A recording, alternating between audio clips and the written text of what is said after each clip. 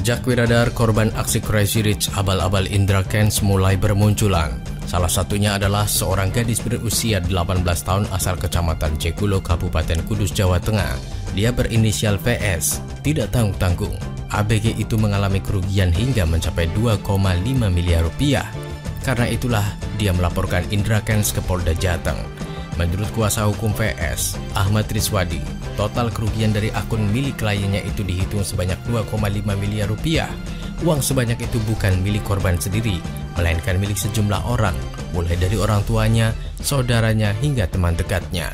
Dikutip dari laman murianews.com, pada awal bergabung, uang deposit korban berhasil mendapatkan profit. Setelah itu, banyak yang nitip menggunakan akun milik korban. Kegiatan trading di platform Binomo dengan afiliator Indra Ken yang dilakukan korban menurut Triswadi belum terlalu lama. Korban baru mulai bergabung menjadi member dan melakukan deposit pada Oktober 2021 lalu. Sampai dengan akhir Desember 2021 atau tiga bulan menjadi member, korban mengalami kerugian hingga 2,5 miliar rupiah. Awal tergiur melakukan investasi melalui aplikasi Binomo karena korban kerap menonton video di channel YouTube milik Indra Kens. Korban lantas mendaftar menjadi member dan mengikuti langkah-langkah yang diberikan Indra Ken.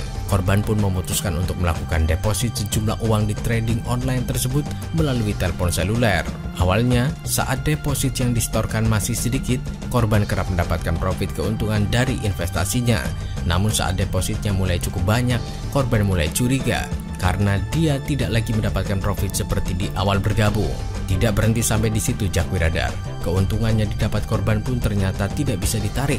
Sadar sudah menjadi korban penipuan investasi trading bodong, korban pun akhirnya melaporkan ke Direktorat Reserse Kriminal Khusus Polda Jawa Tengah.